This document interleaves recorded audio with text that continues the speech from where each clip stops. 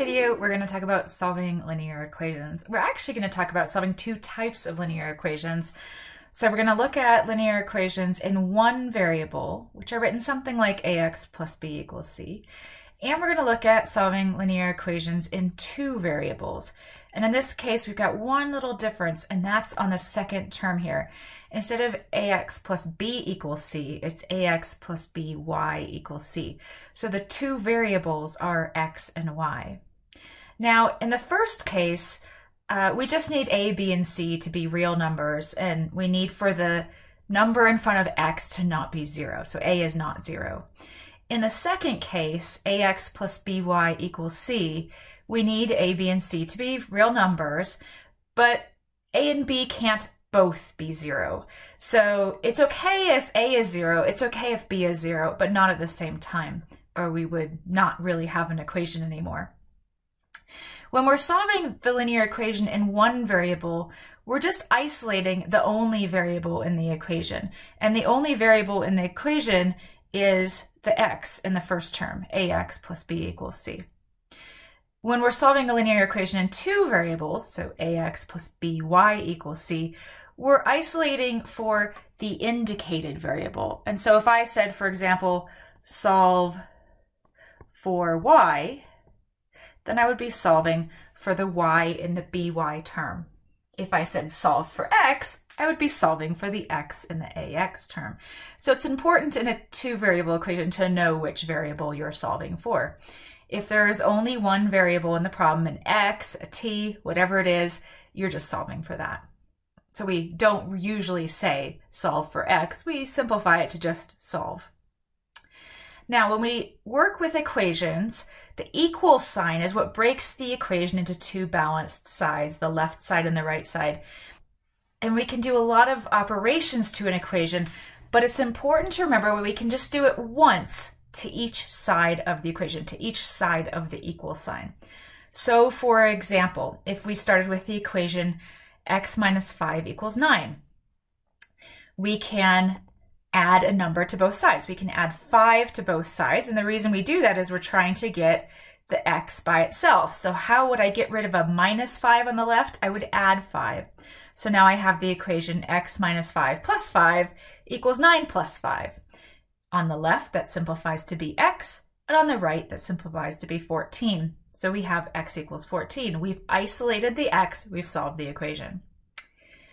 We can also subtract a number from both sides. So let's say we have 6 plus x equals 7. The 6 is the part we need to get rid of on the left-hand side. And so we have a positive 6 there. We need to subtract 6 from both sides. So we'll subtract 6 on the left side and we'll subtract 6 on the right side. We can only do it once. So we have 6 minus 6 plus x on the left and 7 minus 6 on the right. That leaves us with just x on the left because 6 minus 6 is 0 and then 1 on the right. So we have the solution. We've isolated the x. x is 1. Likewise, we can multiply both sides by a number. So if we have x divided by 2 equals 5, we can uh, get rid of the divided by 2 if we simply multiply both sides by 2. So on the left, 2 times x over 2, and on the right, 2 times 5. When we simplify the 2's, 2 over 2 reduces to 1. We really have 1x equals 10. And we write a simpler form of that rather than writing 1x equals 10. We just write x equals 10. And the reason is we, we actually do it in English too. We rarely say I have one orange. We say I have an orange, right? We don't say the number one. Uh, so we do the same thing in math. If we only have one of them, we don't have to say the one part. Okay, finally, we can divide both sides of an equation by a number. So let's say we start with 15 equals 3x. We just want x on the right. That's isolating the variable. So we need to get rid of the 3 times x. And to get rid of the 3 that's multiplied by x, we would divide by 3 on both sides. When we divide by 3 on both sides, we have 15 over 3 equals 3x over 3. And that simplifies to be 5 equals x. We've isolated the variable, we've solved the equation. Don't let it bother you that the x is on the right side of the equation. As long as the x is isolated, you've solved it.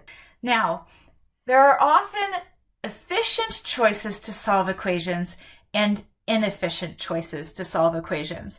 And I want you to, to be able to do the action, even if it's the inefficient one, you need to be able to do it correctly.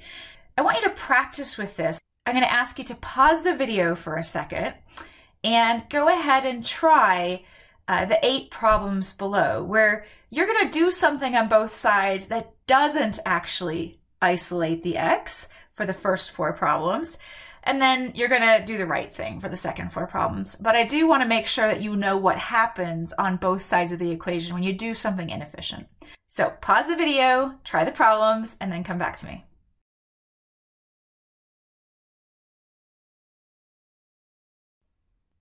Okay, we're back.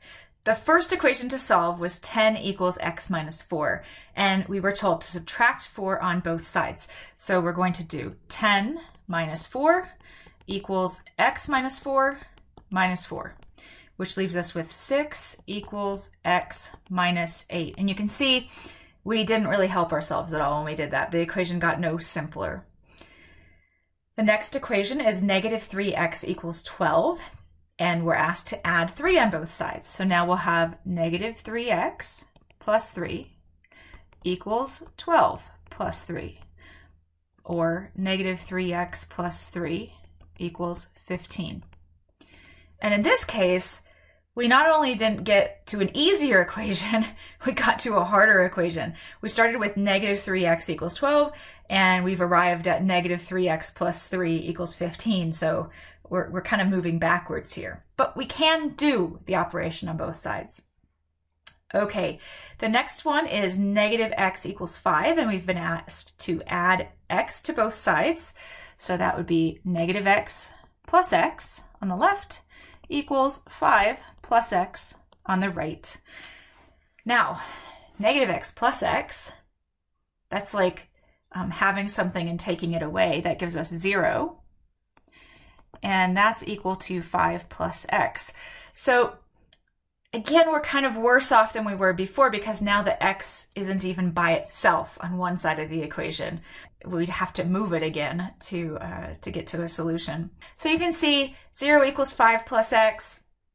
We haven't really done the most efficient thing here. We would require one more step to finish this, which is to subtract 5 from both sides.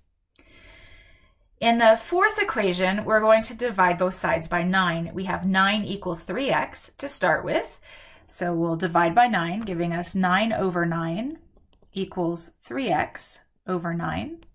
9 divided by 9 is 1. It doesn't go away to make 0. It goes and it simplifies to be 1. And then the 3 over 9 would reduce to 1 third. So we could say we have 1x over 3 or just 1 equals x over 3 because we don't write that coefficient of 1. Now in each of these cases, we could have just made a more efficient choice, a choice that would have solved the equation in one step. So let's go back and do that.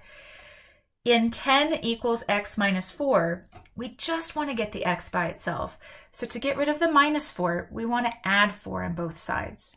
That would give us 10 plus 4 on the left and x minus 4 plus 4 on the right.